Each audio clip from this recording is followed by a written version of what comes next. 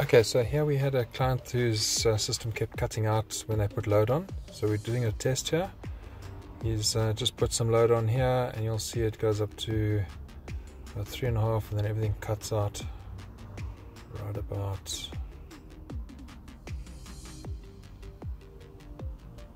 running a little bit there. He puts extra load on now and then it cuts out. You see everything zeroes out. And it, it does a basically does a lockup the alarm light comes on.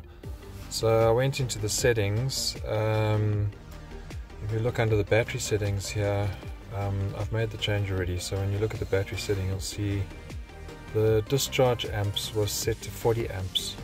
So it must have been when the guys set it up, they made a mistake there. That should stay at 100 because it's a 100 amp hour battery.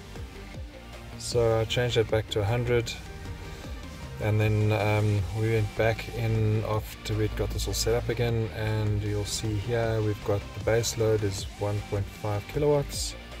He's gone the client's gone into the kitchen switched the kettle on. That took it up to about three and a half. And then we wanted to see how close to five we could go so I said you must put uh, I think it was the microwave. He put the microwave on as well